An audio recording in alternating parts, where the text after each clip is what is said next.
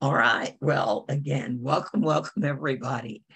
Welcome to our Thursday night update. We are in full mobilization mode. The rest of our presentations until we reach December 10th are going to be all about our progressive mobilization. Tonight, we are talking about mobilizing in Georgia. And in addition to me, I'm going to have two very, very special guests Richard Rose, who is president of the Atlanta NAACP and is also the chief financial officer for the Georgia NAACP. And we will also have Mr. Ray McClendon, Political Action Chair of the Atlanta NAACP. And he is also Georgia State uh, Political Action. So, what I'm going to do right now is I've got some background information that I want to share all about our Georgia 2022 campaign update. So, in Georgia, in this November election, they will be electing a U.S. Senator.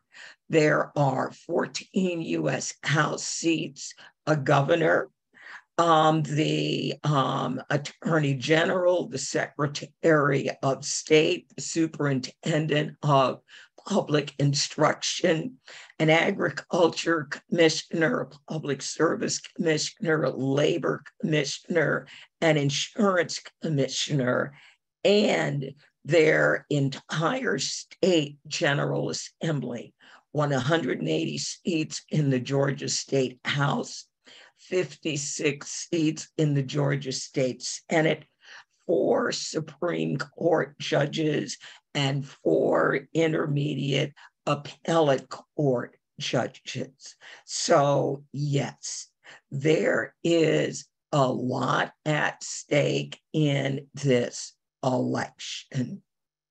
Now, in Georgia, we are going to be targeting the Black voters who did not vote in the 2018 midterm election. For those of us who run numbers on elections and we look at voting histories, you have your voters who are three out of three. If there is an election, those voters are showing up you have your voters who are two out of three, where normally those voters do show up and vote. Generally, when they miss an election, it's because something happened. You also now have your one out of three voters. These are what we normally call presidential only voters, meaning they will tell you, I only vote when there's a presidential election. And then you have your zero out of three voters. These are people who, for whatever reason, have stopped voting. And in southern states like Georgia, we have to be very, very concerned about those voters because voting in southern states is really a privilege or an ability. And like any ability, if you don't use it, you're going to lose it. So we are reaching out to the 0 for 3 and the 1 for 3 voters, the people who missed the midterms, to invite them to come out and vote in this election. In our target counties, we have all of the Georgia regions represented Northern Georgia, Atlanta, Middle Georgia, Western Georgia, and Southern Georgia. 77% of the Black population in Georgia lives outside of Atlanta. So all southern states have a black belt. And normally the black belt is not in the largest urban centers. Now, you will be getting a copy of this presentation, but I wanted to have a layout of these are the counties where we are going to be working. So the counties where you see an asterisk, oh, I didn't get all of them. These are the counties that normally people think of as Atlanta. So Chatham, Cobb, we should add something in Henry to have Gwinnett. That's normally what people think of when they think of Atlanta the city of Atlanta is actually made up of several individual counties. Now, what does Georgia look like? Well, when we look at who is registered to vote in Georgia, Georgia has 6.6 million registered voters. 2 million of those voters are Black 270,000 are Hispanic, 200,000 are Asian American Pacific Islanders, 3.9 million are Caucasian or non community of color, and we've got 26,000 that are Native American. So when we look at the community of color voters in Georgia, and we figure out their percentage. Georgia is 39% BIPOC, Black Indigenous people of color registered voters. So, in other words, if they held the election tomorrow, 39% of the people who could go and participate in that election are BIPOC voters. Now, what are we looking at in terms of our um, opportunity? What happened in 2020? Well, in 2020, we saw a phenomenal number of people turn out and vote. So when we are looking at the Black voters, 65% of the Black voters who could vote showed up to vote in 2020. So that was about 1.4 million. Our Hispanic voters, 56% of the Hispanic voters voted. AAPI 67%, and our Native American voters 54%. We had a major, major success in 2020, and that was a presidential year. When we go back and we look at 2018, a non presidential year, we see that among our Black voters, 47% did not vote in 2018. Our Hispanic voters, 65% stayed home AAPI 63% stayed home. And among our Native American voters, again, 63% stayed home. So that is our opportunity. We have voters who can vote, they just didn't. So, what are we going to do in 2022? Well, we're going to repeat a lot of the things that we did that were very, very successful in 2020. So, we are going to reach out to those 1 million Black voters who did not vote in 2018 we have a concept at Center for Common Ground, and a number of our Democracy Center leaders are here, um, where we have local year round organizers that are on the ground. We are going to be working to expand that concept into the 58 counties that have large Black populations. We're going to be making, hopefully, at least 100,000 phone calls and we're going to send about a million text messages. Now, we are already hearing stories about problems with the elections. There's harassment of election officials, and we expect there will be harassment and intimidation of voters. So we are rolling out a tool that we developed back in 2018. We called it See Something, Say Something, where anybody right from their phone would be able using a very, very simple form to report an election problem, normally while you're on hold on the 866 hotline. So we're not trying to tell people don't call the 866 hotline. Go ahead and call them. But while you're waiting on the phone, because they're going to be getting a lot of problems, you can use our tool.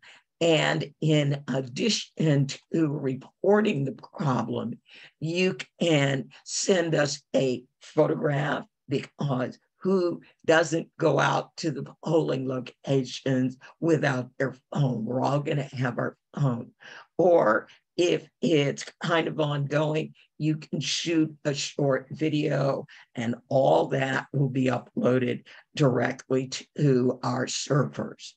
And then anything that is really, really breaking, we will be able to report it directly to the NAACP Legal Defense Fund, Common Cause, or the Lawyers Committee whoever is claiming jurisdiction over that particular area. And then I just showed a picture of what the screen looked like back in 2020. And you can see when you look at the map, yeah, there were some issues in the West, but the majority of the issues occurred pretty much in the southeast. We have added a new item uh, where it's not only voter intimidation, we have added election official intimidation.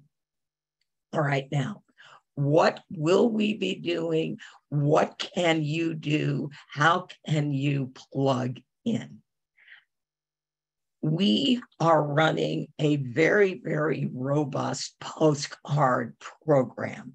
Now, I put in all of the states where we currently are doing postcarding right now. We still have Arizona uh, to add, and then South Carolina um, and Louisiana when we look at Georgia, we had 563,000 addresses that we wanted to send postcards, letting people know when they could early vote and also making sure that everybody knew the phone number of their local registrar.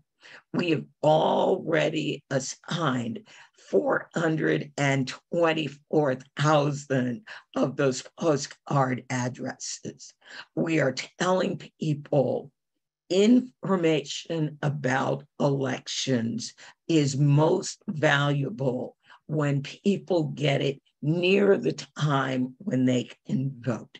So we're asking people if you want a postcard to Georgia, go ahead, get your postcards now, write your postcards, but don't mail them until October 10th.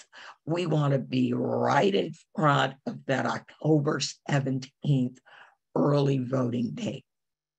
You want to do postcards right now. Well, Virginia starts voting for the November election on September 23rd. We have a few addresses left, and we're telling people you can mail those postcards literally starting this week up until October 1. Now, texting we will be doing texting to our states. And right now, this is the schedule that we have for um, a number of our states. Now, we'll be adding South Carolina, we'll be adding Texas. We have other states that we need to add. But right now, these are the states that we're going to be texting and what we're going to be using. Virginia, Georgia, and North Carolina, we will be texting using Outreach Circle. We use EDI data for those states. And those are the states where we have the greatest number of cell numbers. We will begin texting Georgia on October 1st. For our phone banking, Virginia currently has phone banks now. The Georgia phone banks will be up by September 10th. Um, our IT director was building them this afternoon. They could be up as early as this weekend. So again, we are going to want to do major outreach to Georgia voters, letting them know what their voting options are. Now, in Georgia, what are we going to be doing? I've already talked to you about postcards. Those of us who are remote, those are activities that we can do. Uh, we can also do texting and phone calls while we are remote. We are also going to be engaging because with our democracy centers and with our Georgia partners, we have people on the ground. So we will be engaging in canvassing, our partners will also be able to identify the best places for us to use billboards, and they will also be doing C3 activities like candidate forums. So I've dropped a link, and I will drop that link in the chat. Texting is not free. Texting is expensive. We want to have paid canvassers. And remember, we're talking about 58 counties. And while in 2020, I was queen of billboards, um, I spent $189,000 on them. Um, billboards, while they do stand there 24 7, they are expensive. So that is basically, well, uh, quick, my democracy centers, and so many of my leaders are here. Their whole goal is to convert low propensity voters into voting rights activists. And so we've utilized a lot of the methodology of the democracy centers and I want to bring up my special guest. I'm going to stop sharing my screen, Richard Rose, to talk about the work that the Atlanta NAACP started back in 2020. So, Richard, the floor is yours. Thank you, uh, uh, Andrea, and good evening and good afternoon, maybe to some people on the West Coast still. Uh, uh, I'm listen. This is a great, another great meeting. Uh, we started in in 2020 when it really in 2020, 2018 when we lost, came so close to electing Stacey Abrams.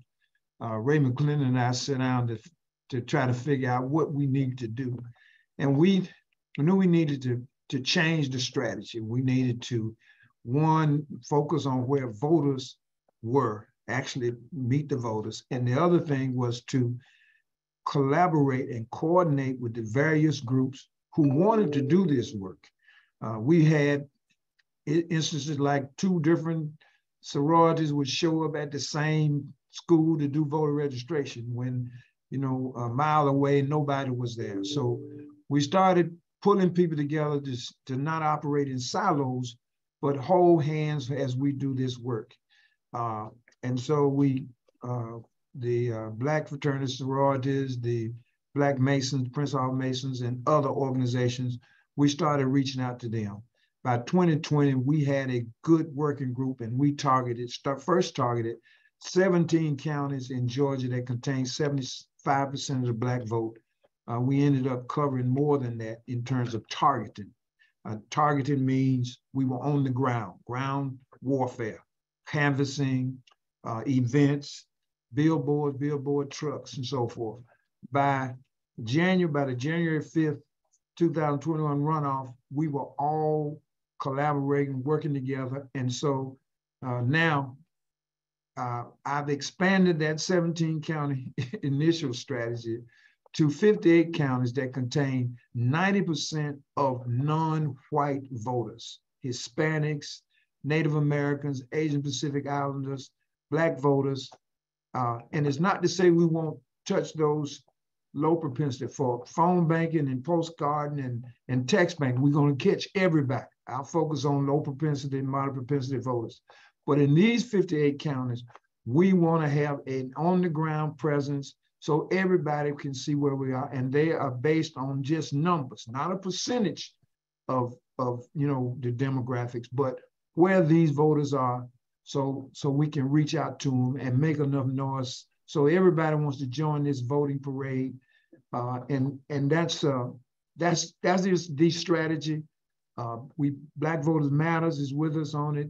People's agenda of course we got the center for common ground is that props us up in so many ways and uh, all of the now the NAACP branches uh, uh, Atlanta took it upon ourselves in 2020 now we have uh, we have the things have changed. Uh, my our first vice president of Atlanta branch is now the state president. As as uh, Andrea mentioned, I'm I'm also the state treasurer. Ray is also he's the political action chair for the state as well as Atlanta. So now we have you know put us all together, and uh, it is so so so very important. Not only can we send a message but we can also solidify the gains that were made in terms of Congress. I mean, we we need we send Warnock back, uh, which was keep us at status quo, keep us with two congressmen from Georgia. Uh, there are 14 Georgia congressmen and the redistricting. They tried to take one seat. We're going to try to take it back plus one. So we have, and and and all of this is a not only top down, but it's a bottom up strategy. Those uh, 180 House seats that uh, that you saw when, when uh, Andrea started, we know we can pick off some of those. And as we pick off some of those, when we get local people excited about those people, they know they will also vote up and down the ticket. So that is that is the strategy. Um, and I'll uh, turn it over to Ray McClendon to clean up behind me because I I get so excited sometimes I miss stuff. so, so Ray, you you have the floor, sir.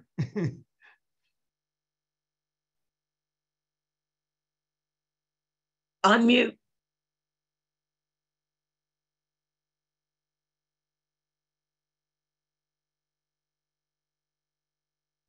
Ray, try now. You should be able okay, to. Okay, great. Yeah, I've got it now. Thank, thanks so much. Excuse me. And uh, Richard's uh, done a great job of, of giving an overview of the strategy, uh, which he uh, formulated and we expanded on. That was very successful. And, you know, we look at this strategy and some people call it relational organizing, uh, where we are focused on bringing together all of these groups that operate in Black communities across the state. Uh, and they all play leadership roles in these, in these local counties. Uh, when you look at the organizations that are represented as a part of Team Unity, the Divine Nine, the Masons, the Urban League, Black Voters Matter, of course, the the uh, state NAACP and all of its uh, branches across the state. the the these entities, the these various organizations, uh, represent represent leadership on a local level in these counties. They are the teachers, they are the, the commanders of the fire station, they are the chiefs of police. They are actively involved across the entire spectrum of their local communities, whether, whether it be civic, um, faith-based, et cetera. and so what we've done is a critical part of amplifying messaging is to have trusted messengers in these counties. So, so what we have been able to do now is to bring a massive number of volunteers together with some of the legacy civil rights organizations and other civic engagement organizations so that we can have the infrastructure that's necessary to not only mobilize these volunteers, but give them the tools and the resources that they need to be effective. So we found that this strategy makes us much more effective, much more efficient with the proper message messengers and messengers and messages in these local communities. So that's really what this is all about. Richard mentioned top down as well as bottom up. We want to make sure that that bottom up piece is strong and, and granular in terms of who we target. And then of course, with, with groups like the Center for Common Ground, which has extraordinary technology available and made that available to us, then we can really zero in on these low propensity and, and uh, moderate propensity voters across the state and, and drill down and really make the local players that we are in collaboration with, members of the coalition, make them much more effective and target voters to get the vote out. So we're, we're, we're excited about where we are headed. This year, we've gotten even stronger from where we were in 2021 one to now in 2022. We've added over a thousand uh, faith-based um, organizations, uh, churches, and places of worship across the state. Uh, in fact, we've already started a major postcarding strategy with those churches along with, with CCG. So we're just excited about the way we're expanding. And with the dates that Andrea has already mentioned to you, we're looking forward to getting in the game even earlier and what we're really building, everyone, is that we will have a year round strategy of democratic engagement, civic engagement that will allow us to affect not only the cycles of elections, but the cycles of policy making uh, throughout the year and be a force to be reckoned with that we will have as our own independent structure. We will not be trying to go through a party or some other machine, but we're creating our own structure here that will operate year round to engage our citizens and make sure that their voices are being heard. And we are holding people accountable year round. One of the biggest things that we hear when we're in the barbershops or when we're out in the streets, especially with low propensity uh, African American male voters, as they say, yeah, Mr. Ray, you come here and you're talking to me now, but we don't see you except when you're asking for a vote. And so what we're building now is an ability to, to see these folks year round, to understand the pain points that Andrea talked about, and to have a process for engaging with those people that we put into office that if they don't do what they said they would do to help change the lives for, for the betterment for our people, we will vote them out. That's how we're going to get better civic engagement. And we're excited about having this kind of infrastructure in place in order to continue taking that to the next level.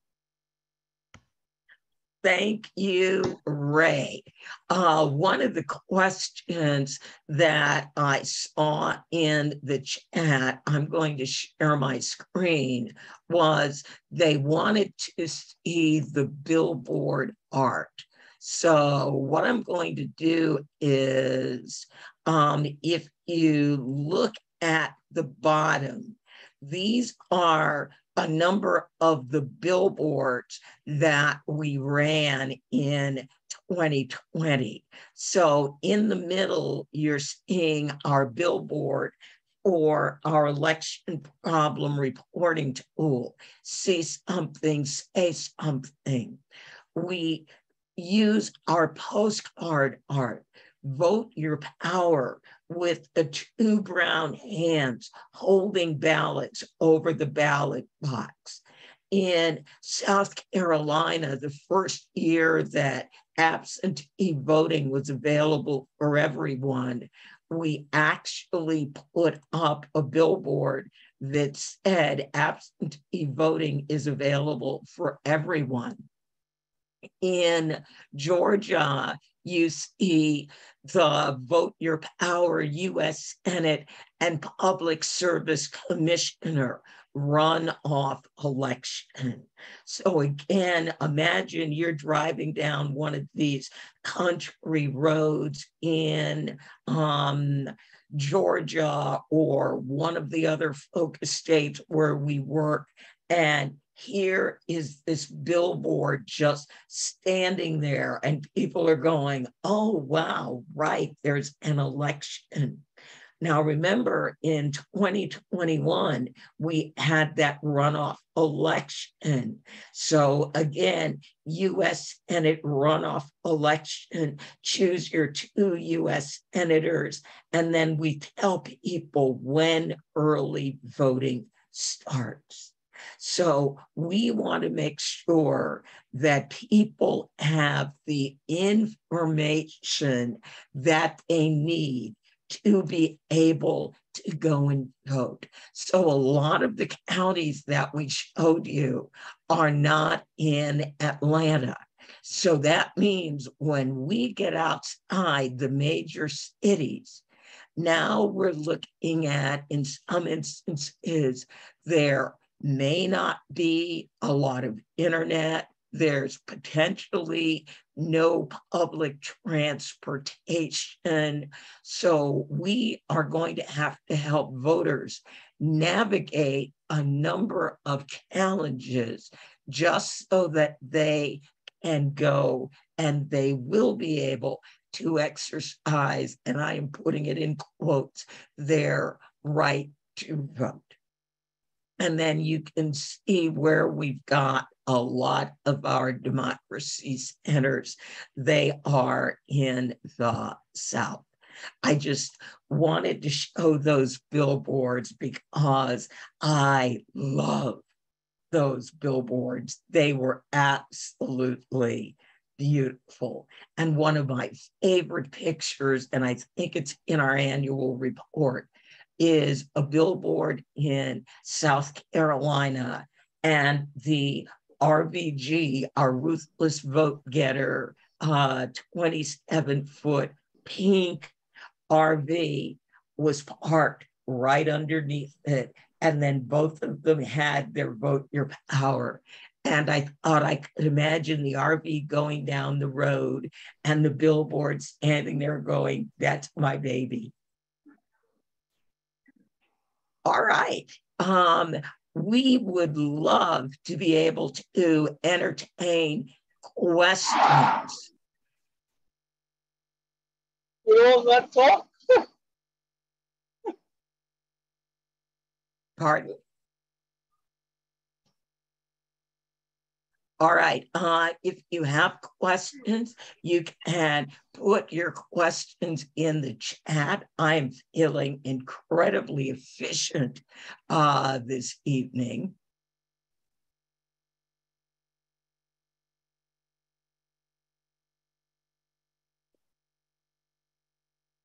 All right. A question Um, for me. Uh, can I answer that question, Andrea? Yes. Yeah, so yeah, Tricia, we have targeted each, each county where a local NAACP uh, branch is, uh, absolutely, as well as not only the, the, uh, the adult branches, but also the college chapters as well. Uh, and that was, that was, it- that was the central uh, strategy from the 2020 uh, strategy, you know, where we knew we had support that ended up again spread it out because people say, hey, I want to join, I want to do this, and so we added. So all of those counties will either be uh, uh, central, centrally managed by a local NAACP branch, or either Black Voters Matter or uh, the People's Agenda. But but it was so there are some counties where uh, NAACP branches were not where we didn't have a branch, uh, but we covering all of it. And some of those counties where the target counties will include a one or more surrounding counties. For example, at the bottom of the map, there's Lowndes County right next to Florida, where on either side of it are uh, people come into Valdosta to work. And so we will be including the, the, uh, the radio and TV will cover those adjoining, uh, adjacent counties. All right. And then I've got another question, Richard. What is the strategy either from Center for Common Ground or the NAACP to bridge the gap between voters in rural Georgia and the challenges we face to get to the polls? So we had, we've, we've had uh, a ride to the poll, ride to the poll.com app for for several years. That will be expanded. We're also going to be working with uh, another group. What's the other group we talked to? Uh, uh, Ride share to right vote. share, right share. So we're going to be distributing that around the state uh, for people to be able to to get rides, and and we focus on early voting. So that's that is our focus to make sure that we have time for people to get there, the time to request a ride.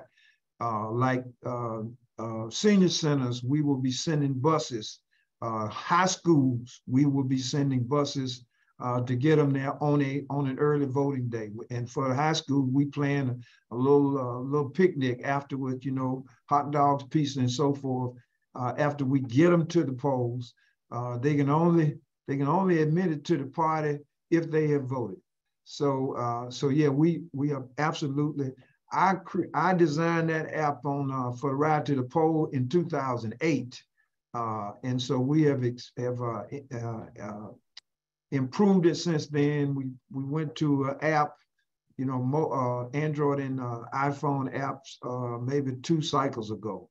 So we are we we absolutely understand that's a problem because some counties in Georgia have have only one polling place.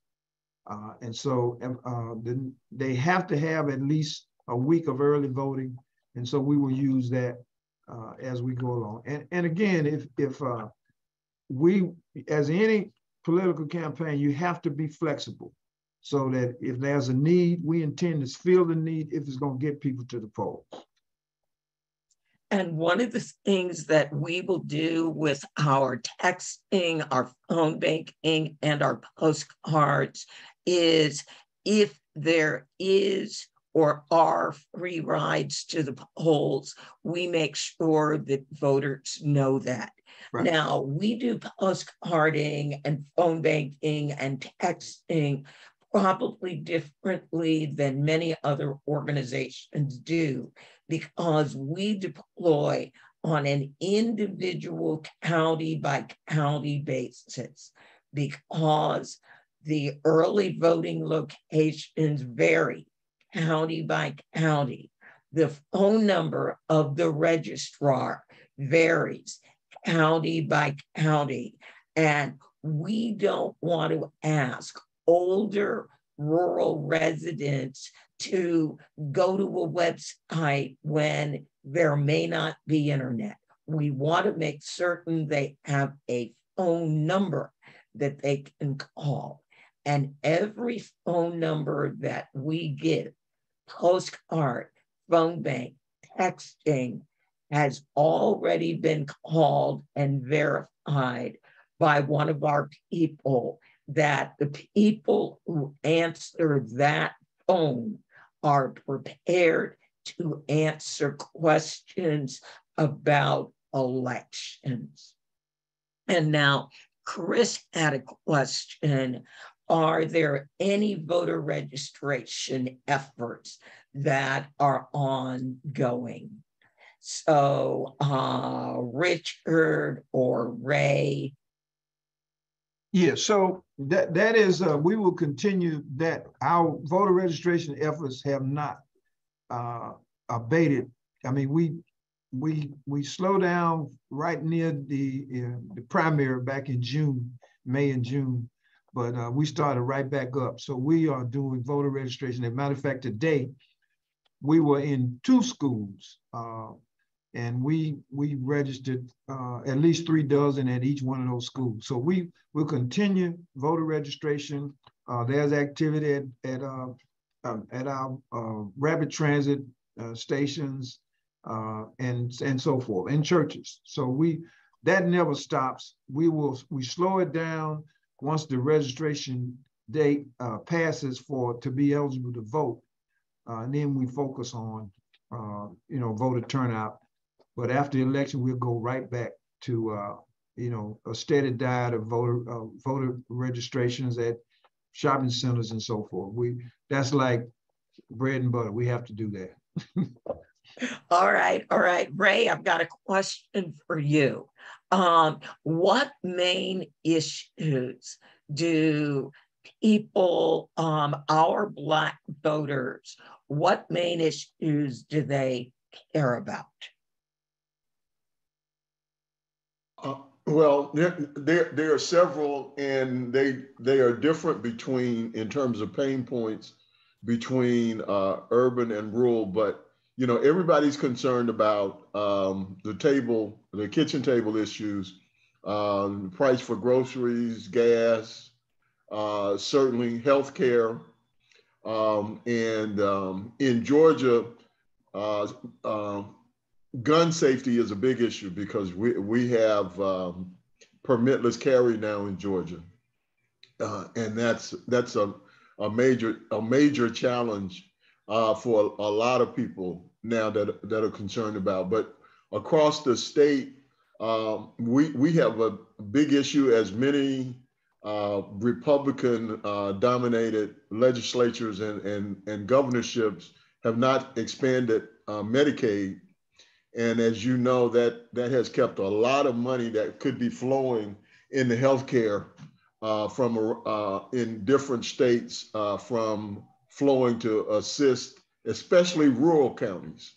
And so it's a big issue. And now it's tipping over into the metro counties as well. One of our largest hospitals in, in Atlanta just uh, is closing, uh, as, as, well as um, what is it, Richard? Seven or nine hospitals across the state have closed. Right. And it's surprising how many uh, how many counties in Georgia do not have um, OBGYN, do not even do not even have a a uh, general physician anymore. Uh, so this is so healthcare is a is a huge issue and it in a lot of these cases people have got to go through go go to other counties uh, and travel you know long distances just for basic health care so that's a that's a, a, big big issue across the state and we also know that the the ruling for women uh, big issue is now of course uh, the the decision on abortion uh, and that topic has has continued to expand um, and, and, be a major issue uh, going. Uh, it's going to be one going forward. And we've seen some changes in uh, some some of the polling based upon uh, what what's happened on the uh, abortion issue. But the big thing for the younger folk is is still the uh, inflation and and and the, the price price of of goods and services. And then one final one, of course, is uh, a, a, living wage in order to deal with these high prices for uh, goods and services and, and, and affordable housing. Thanks, Ray. Um, there were questions in the chat. Do we do training on Outreach Circle? And the answer is yes. We will start texting training next week. Again, one of the things that is so great about Outreach Circle is it is a very, very, very easy program to use. And when you sign up, we ask, do you want to send text only? So basically, once we get you signed up for Outreach Circle and give you texting actions basically you're going to wear out this end button and then you can also choose that you want to send and reply that requires more training so uh, josie just dropped in the texting question um, groups um, the democracy centers were designed back in 2015. And the GOP um, basically took our idea and created what they call community centers. So the GOP has funded the community centers. We have had to self fund the democracy centers. So they do exactly the same thing. They borrowed my concept, but they also made a point of funding it. All right, let's see. Ooh. Um, all right. Yes, there will be a recording. So anything that anybody missed, um, it will definitely be available for you on the recording. And again, when we came up with the issues, we do not tell people what their pain points are we ask them. So I saw a lot of references to policy. A lot of policy issues are things that policy won't like to focus on. When we ask people, what do you care about? What's important to you? They told us and they missed a lot of these policy issues that is not what people think about on a daily basis. They told us what they were thinking.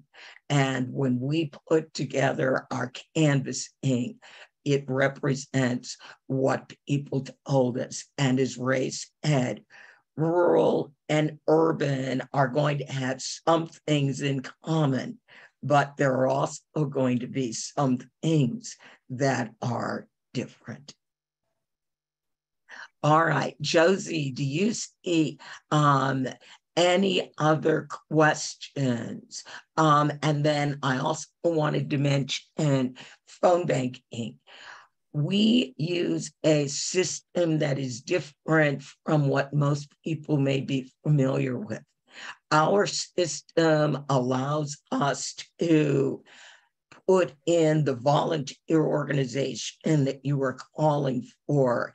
And we do training every Tuesday and every Thursday. If you have a group, you can contact us and then we can look at setting something up special for a group of four or more people. So, yes. All right, I think we are doing very good. As I said, I am feeling very, very organized that we've been able to keep up with the questions, yes, yes. Uh, Chris, as my group calls on Saturday mornings, our phone banks are open 9 a.m. to 8 p.m., whatever the local time is. And that is the same time that our text banks will be open. So once we open them, they run seven days a week, 9 a.m. to 8 p.m. All right. Yes. Um, um, Rich, oh, all right, yes. Richard and Ray, thank you so very, very much. Um, Monica, do you want to announce your event, Dr. Monica? And then I will work on dropping in the link for it. I don't know if you can talk yet. All right. Um, all right, yes. We Monica, got... you should be good now if you want to mute yourself. I disabled the. All right. Thank you so very much. Um, good evening, everyone. Um, and we thank you so much. Um, the issue, some of the, I'm Monica Wills Brown, and I am um, the organizer for the Cobb County Democracy Center.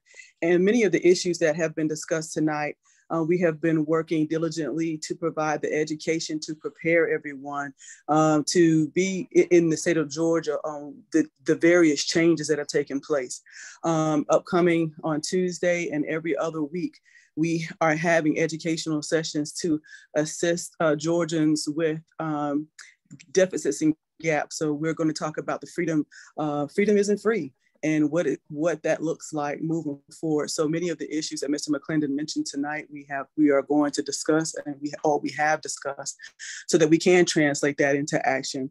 Um, thank you so much, Andrea, for everything that you have done to provide um, support for us, and we're looking forward to really put hitting the pavement hard. Thank you so much.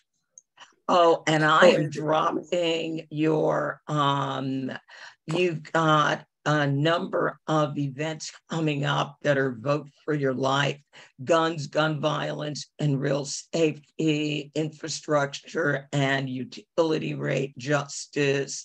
Um, and then you've got one coming up September 27th, uh, Vote for Your Life. Um, I, I love these titles, and that is um, making your plan to vote. So, what I'm going to do is drop in the link where we've got a collection of Georgia events from the various team unity partners all throughout the state. And the link is right there. You can go to that page and see a whole collection of events. So if you are in the state of Georgia, hang on to that page because as new events come up, we get them on that page. All right. Yes. Yes. So um, I'm not seeing any new questions. And um, since I'm going to start my vacation tomorrow, I'm going to do one last call for questions. And if I don't see any, we are going to do something incredibly unusual we are going to end right on time. So I am so delighted that so many of you chose to spend time with us this Thursday and learn more about Georgia. We will be doing these for our other states. Thank you, everybody, for wishing me a wonderful vacation. And everybody, take care. you will be getting your meeting notes as well as the link to this recording. Thank you all so very much for joining tonight. And Richard and Ray, thank you always for all your support. Couldn't do any of this without you.